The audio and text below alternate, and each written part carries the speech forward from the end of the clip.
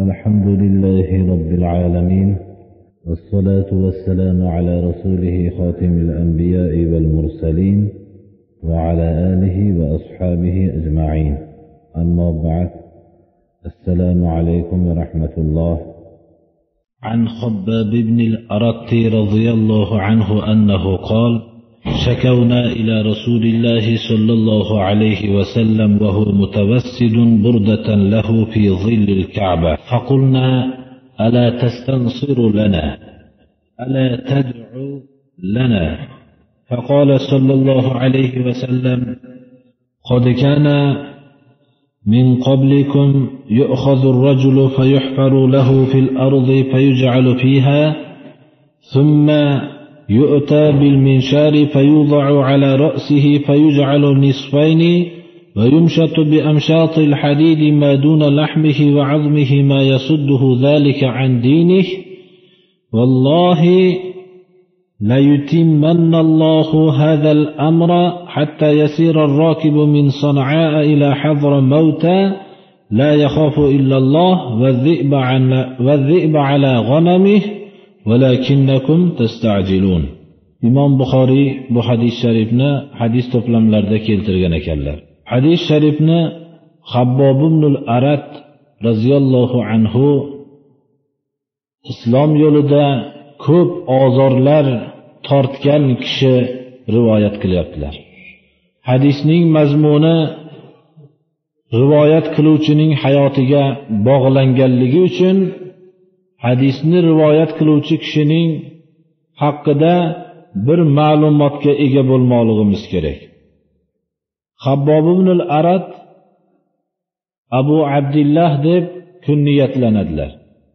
Bu kishi islomga avvalda kirgan kishilardan. Hatto ba'zi rivoyatlarga qaraganda bu kishi islomga oltinchi navbatda islomni qabul qilganliklari rivoyat qilinadi. Bu degan so'z islomda birinchilar safidan o'rin olganliklarini bildiradi. Tabiiyki islomni avvalda qabul qilgan kishilar olloh yo'lida ko'p ozor azob chekdilar. Habbobinul aratning olloh yo'lidagi tortgan azobdan bo'lgan o'lishi nihoyatda katta bo'ldi. Habbobinul arat ummi anmor deb nomlangan bir quraysh mushrika ayollarining quli edi. Bu ayol habbob ibn aratning islomni qabul qilganligini eshitgandan tortib azob bera boshladi. Azobning surati ko'proq temirlarni qizdirilib peshonalariga orqalariga jasadlariga bosilardi. Ana shunday azobni din yo'lida tortgan zotlardan bu kishi. Payg'ambarimiz sollallohu alayhi vasallam din yo'lida avvalda azob tortganlarga duo qilishlikdan boshqa yordam bera olmasdilar. Chunki u vaqtda atroflarida yig'ilgan kishilar nihoyatda oz edi. Mana aytib o'tyapmiz bu kishi oltinchi musulmon bo'lgan kishilardan deb rivoyat qilinadi.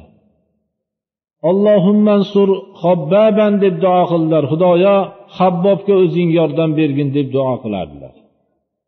Alloh subhanahu va taolo bu habbob ibn aratning azob berayotgan umma anmor deb nomlangan mushrika ayolni bir dardga chalib qo'ydiki bu boshni og'rig'i natijasida itga o'xshab uvillaydigan bir kasallikka uchradi. Uning davosi faqat boshiga temirni qizib bosilgandagina tuzaladi deb tabiblar tarafidan aytildi. Albatta buni bir xizmatkor bajarishligi kerak edi. Ummi anmorning boshiga habbob arat temirni qizidirib bosdi. Shundagina tuzalgan bo'ldi.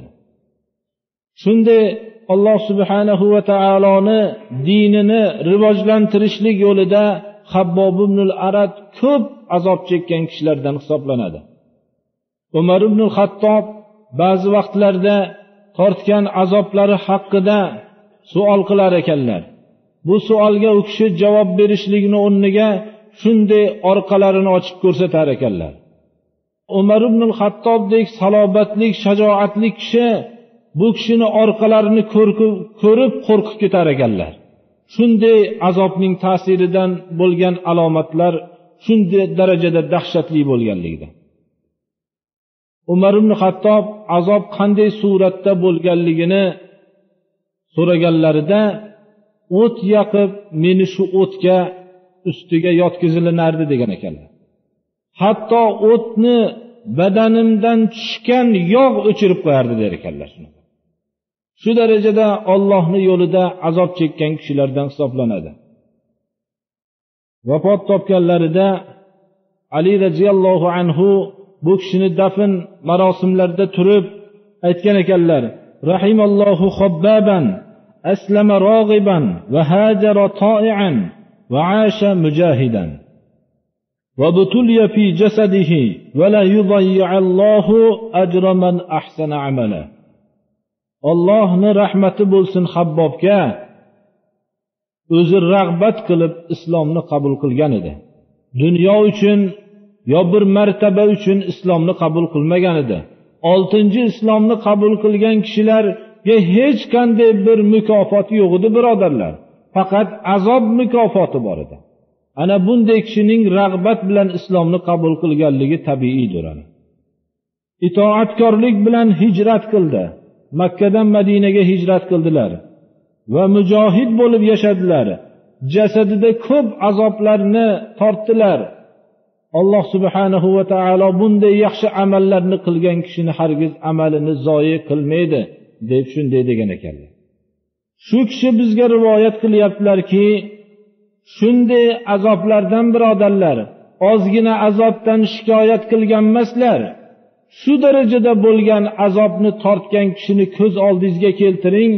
Shunda insonlik xususiyati bilan ba'zi vaqtlarda aytadilarki rasululloh sollallohu alayhi vasallamga shikoyat qildik. U kishi o'zlarining kiyimlarini bolish qilib yonboshlab kabaning soyasida o'tirgan edilar. Biz aytdikki yo rasululloh bizga xudodan bir yordam so'rang xudoga bir duo qiling bizga bu azoblarni ko'tarsin deb shikoyat qilib bordik deydilar. Shunda aytadilarki habbobinul arad rasululloh sollallohu alayhi vasallam bizga aytdilarki shunda ba'zi rivoyatlarda shunday g'azablanib o'rinlaridan turib ketdi degan rivoyatlar ham bor.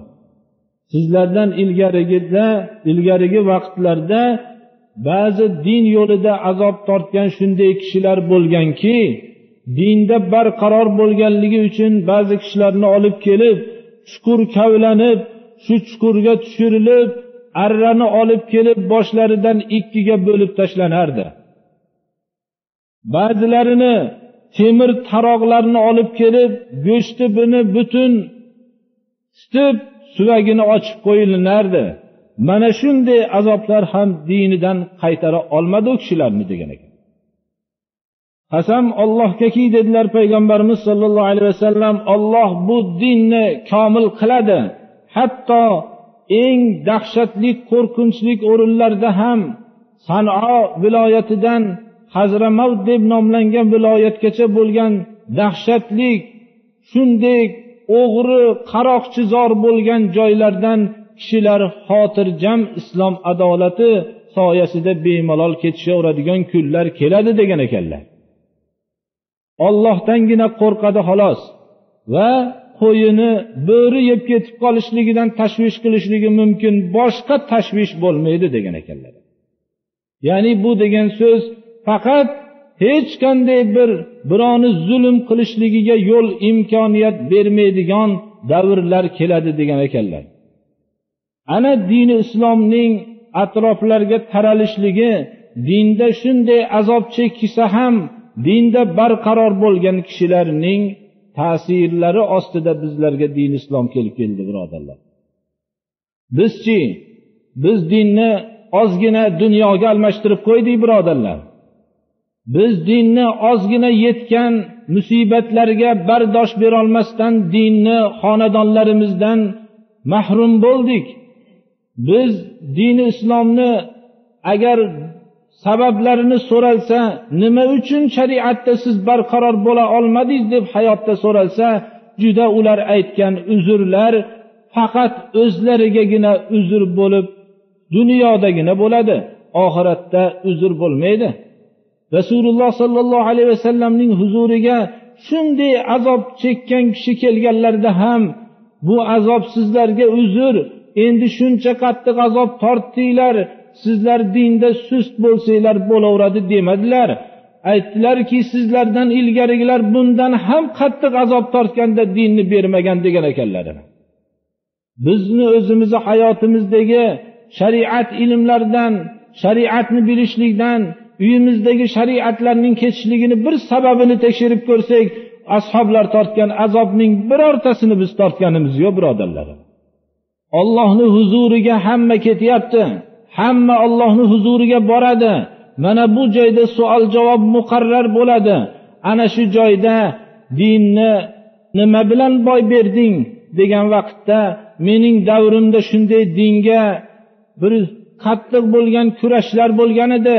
Shuning uchun dinni qo'ldan berdim desa xuddi shu davrda dinini mustahkam kishilar bor ediyu deb ana shu odamlarning guvohi ko'rsatilsa javoblar nima bo'ladi birodarlar?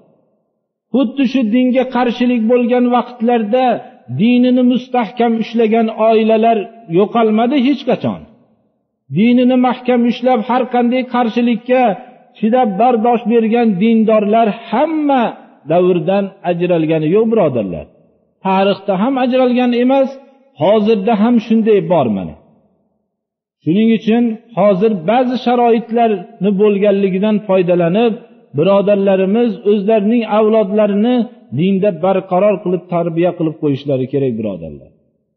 Alloh subhanahu va taolo hammamizni islom dinida barqaror qilsin. Dinimiz yo'lida etayotgan qarshiliklarni azoblarni bizga shirin qilib qo'ysin.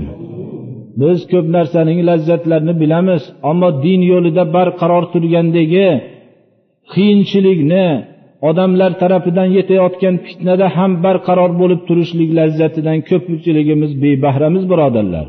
Dunyoda mana bu ollohni yo'lida mahkam turishlik har qanday fitnalarga bardosh berib mana buning lazzati boshqacha birodarlar buni. Alloh subhanahu va taolo hammamizga shuni nasib qilsin.